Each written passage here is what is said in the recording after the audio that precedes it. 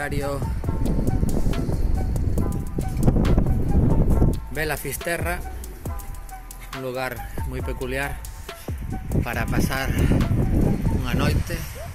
Tocou a habitación do tesouro, a Illa do Tesouro.